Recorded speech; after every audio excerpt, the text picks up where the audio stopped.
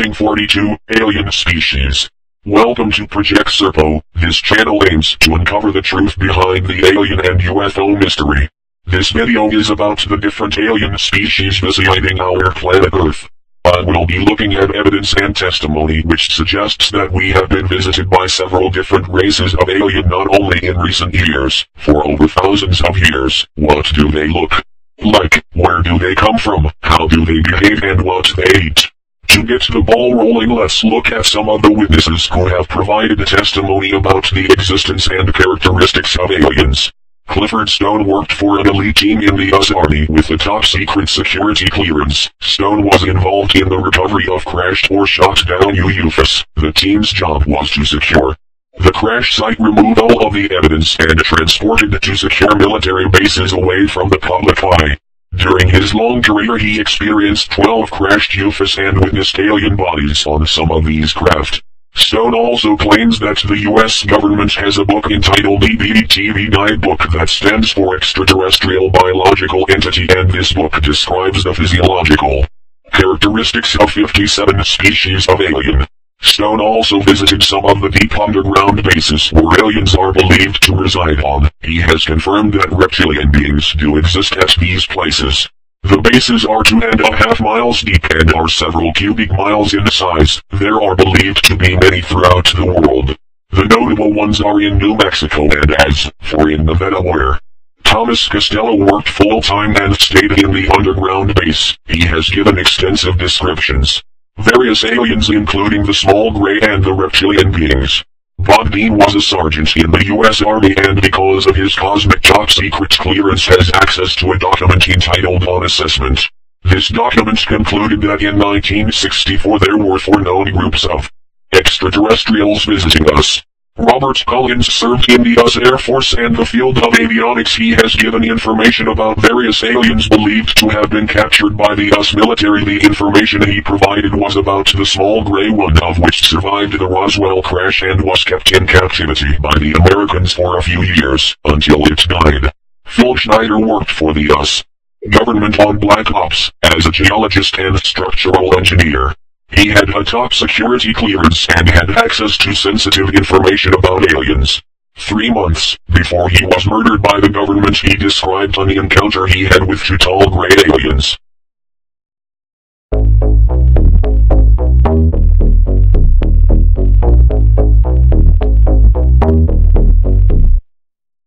As you would expect they are small and gray between 3 to 5 feet tall. They are erect standing bipeds which means they walk on two legs with a very large head containing two brains.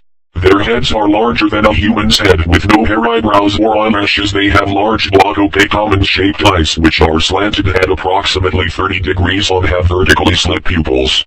The eyes are described as being very creepy and make a lasting impression on people who have seen them. The heads are domed and look similar in shape to a human fetus head. They have spindly arms and legs and a thin torso slightly resembling a praying mantis. Their long reach down to their knees when standing with their arms by their sides and a small paw leads to claw-like spindly fingers. Normally, they have two short and two long fingers but some only they have three fingers. Their skin is slightly reptilian in texture gray in color and tough.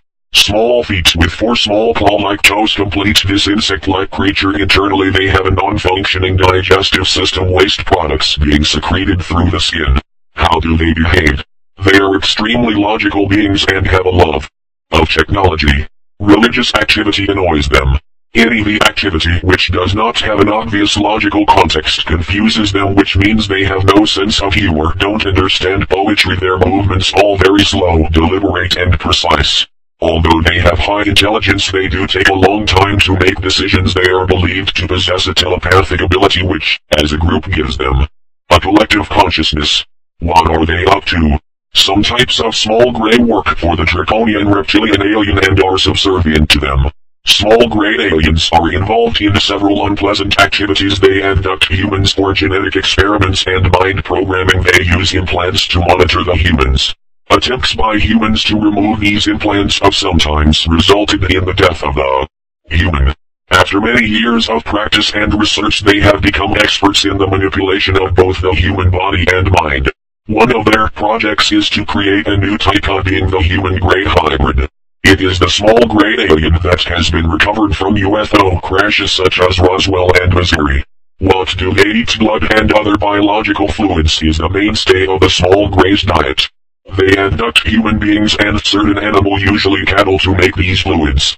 The formula they produce includes amniotic water this is the nourishing and protective liquid contained within the womb of a pregnant woman. Blood plasma and several of the soft tissue body parts which are raw usually from a cow or bull. The Gray's requirement for bovine innards explains the thousands of mutilated cattle which are found all over the world. The mixture is a nearly clear mixture with the texture puree peaches they try not to consume this substance around humans, because the odor is totally obnoxious to us. Another chilling part of their diet is a substance which is generated by the human brain, when we are under distress or in fear of our lives for. Phil Schneider claims they consume a substance like a recreational drug, as a human would use cocaine. The substance may well be a hormone and is sometimes known as life energy or solar energy. Where do they come from? The small gray comes from the constellation of Zeta Reticulum which is 30 million light years from Earth. They originate from the fourth planet around the second star of Reticulum. This is only observable in the night from the southern hemisphere.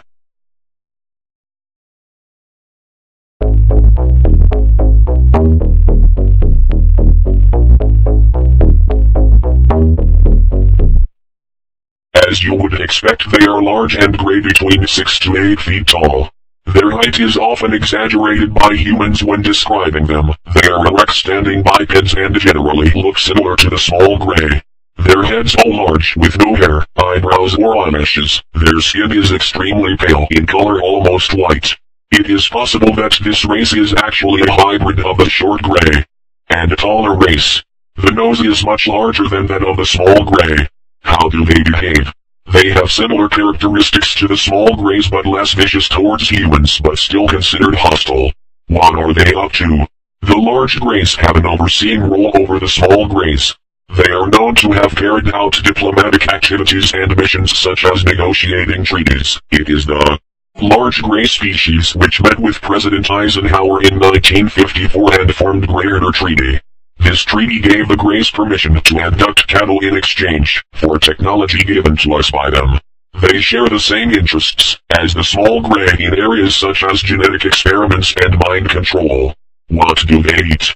They presumably have a similar diet to the small gray. Where do they come from? The large grays originate from a planet orbiting a massive red star named Betelgeuse in the Orion constellation. This is 427 light years from Earth. The star is viewable in the sky after midnight between east and southeast.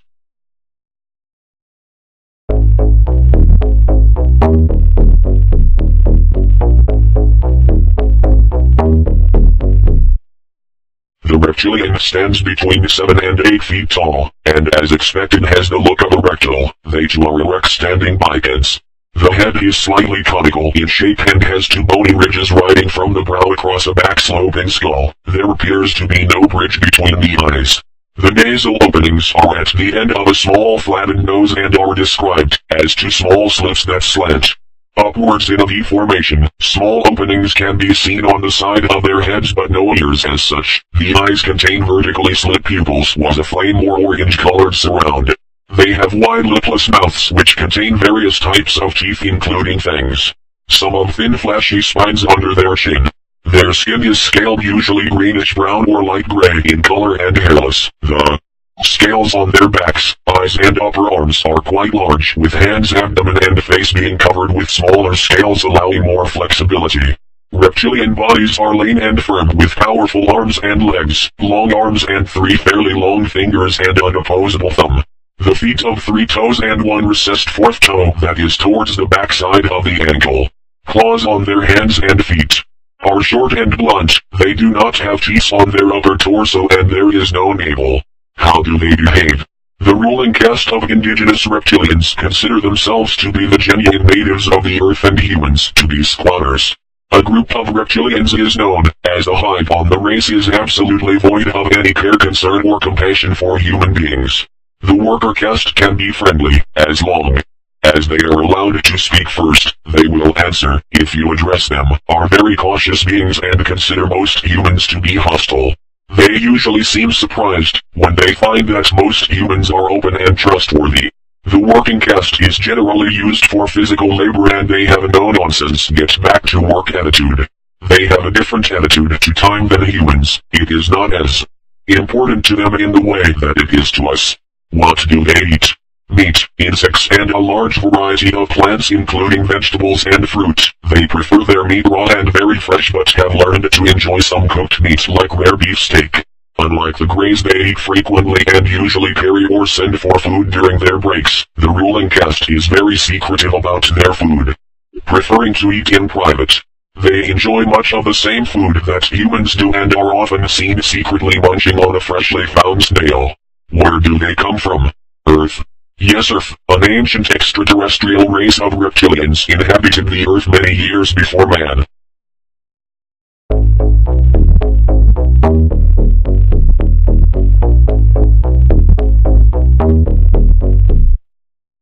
There are two main types of Draco reptilian, the Ciakar and the warrior caste. The warrior caste Draco, pictured here is a 7 to 8 foot tall biped and is feared throughout the galaxy, for its fighting ability. It has vertically slit pupils and skin similar to that found on the stomach of a lizard. The Ciakar Draco was considered to be the royal line of the Draco reptilian race and range from 14 to 22 feet in height and can weigh up to 1800 pounds. They have winged appendages and are described as awesome and look remarkably like a dragon. Dracos are not seen as often as other reptilian aliens. They are similar in appearance to the indigenous reptilian but do have distinct physical differences. The Draco has wings, whereas the indigenous reptilian does not. The wings consist of long thin bony spines or ribs that protrude out of the back. The ribs are joined by flaps of leathery dark skin. Normally wings are kept in a retracted position. Another physical distance to the indigenous reptilian is that some Dracos have horns. They are located and develop midway between the brow and the top of the skull. Horns are conical in shape and have blunt tips. The Draco reptilian has a much more athletic build than other reptilian beings. Their upper torsos are extremely lean and their neck muscles splay out from the base of their jaw to their shoulder blades. How do they behave?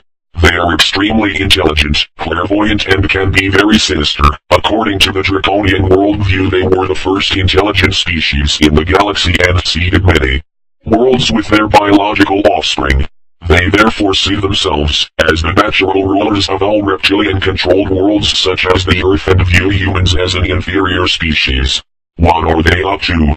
These aliens are in command of the Earth-based reptilians. The Earth-based reptilians are in turn in command of the large Greys who are in command of the small Greys.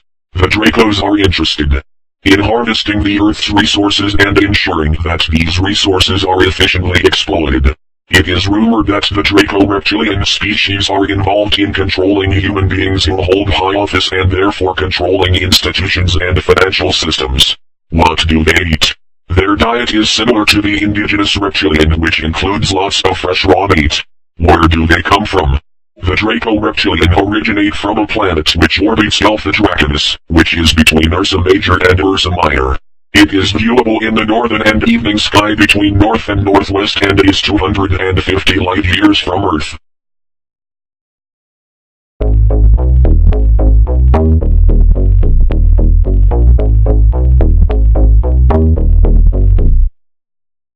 Are very human-like erect standing bipeds but with a slightly reptilian look about them. A varying skin color, some red some are beige some are black. They have a very high forehead which is almost cone-like. The planets around Sirius B are occupied by reptilian and aquatic beings. How do they behave? Their society is more motivated by political thought patterns and they are not religious. What are they up to? The Sirians are believed to have played a role in providing exotic technology such as time and interdimensional travel to shadow government agencies involved in both the Philadelphia experiment and the Montauk project. They were supposed to have had a role in the technology exchanges to help the U.S. develop military capability against future alien threats. The assistance involved biological weapons research and it is claimed that the Ebola virus was given to the government by the Sirians. These beings are believed to have access to some sort of time travel which allows access to key points in time. Where do they come from? Sirians are from the Sirius B star, viewable from 5 a.m. in a southerly direction just above the horizon. This star is only 8.6 light years from Earth.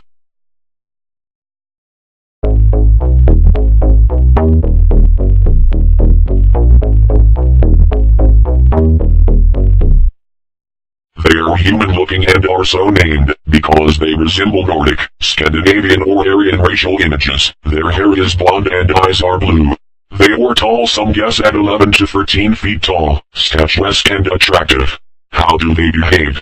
Nordics will not break the so-called universal law of non-interference. This is a law which is known about throughout our galaxy which states that different races should not interfere with each other in any way, whether to benefit them or otherwise. They have a high regard for life. What are they up to? They choose primarily to just observe. Perhaps their motives are to create a harmony between the different creeds of the galaxy. What do they eat? One thing is certain they do not eat other races of alien. Where do they come from? The Nordics. Come from the Pleiades star cluster in the constellation of Taurus. This is viewable from the northern sky after midnight between east and southeast and is 385 light years from Earth.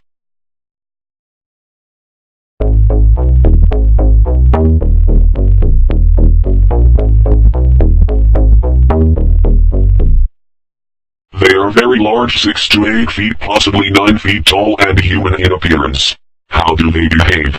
They are religious but this does not necessarily mean they are benevolent. They have been known to be violent. What are they up to? They periodically return to the Earth to determine how effectively Earth's resources have been utilized by humanity and by those extraterrestrial races playing a role in managing humanity. The Anunnaki visited Earth around 300,000 years ago and allegedly helped to create man by interfering with evolution of an ancient version of man. They did this in order to create a race of slaves the human race, in order to carry out mining activities on Earth. The Anunnaki are involved in influencing long-term human evolution through elite groups, systems and institutions, and by influencing human consciousness. They may be in competition with the Draco Reptilian for control over the Earth. Where do they come from? Nibiru which is an undiscovered planet within our solar system in a highly elliptical orbit. It has a 3,600 year long orbit.